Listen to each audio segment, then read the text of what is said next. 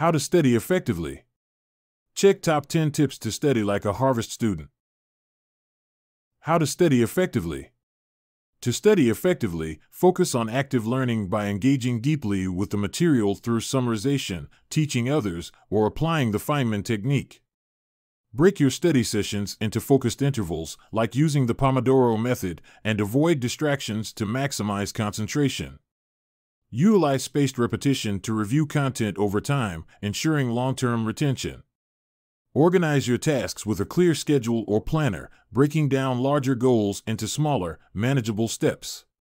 Equally important are maintaining physical well being through regular exercise and getting sufficient sleep, which boost cognitive function and prevent burnout, helping you study smarter and more efficiently. 1. Active learning over passive reading instead of just reading or highlighting notes. Adopt an active learning approach. Engage with the material through techniques like summarizing content in your own words, teaching the concepts to someone else, or even creating mind maps. Harvard students excel because they not only absorb information but also critically analyze and apply it. When you actively interact with the material, your brain processes and retains information more effectively. 2. Use the Pomodoro technique. Harvard students manage their time efficiently, and the Pomodoro technique is a proven method to maximize focus. This involves working for 25 minutes, followed by a 5 minute break, and then repeating the cycle. After four cycles, take a longer break, 15 to 30 minutes. This method helps prevent burnout and maintains productivity over longer periods. 3. Deep focus. Eliminate distractions. Cultivate an environment where deep focus can thrive. Turn off notifications, silence your phone, and consider apps that block distracting websites. Harvard students often have highly packed schedules, so when they do sit down to study, they eliminate distractions to focus solely on the task at hand.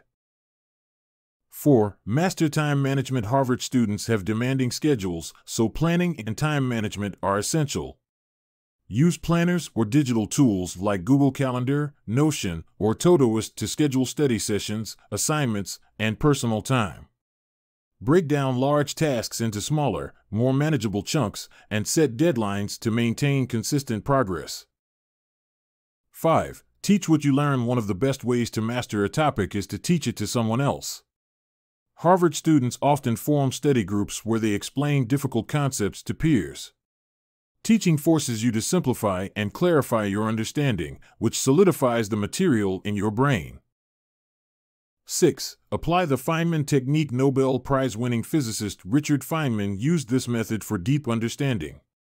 It involves breaking down complex ideas and explaining them in simple terms as if teaching a child. If you get stuck, it indicates an area where you lack clarity. This method helps you identify gaps in your understanding and strengthens your grasp of the material. 7. Embrace spaced repetition. Harvard students don't cram. Instead, they use spaced repetition, a technique where you review material at increasing intervals over time.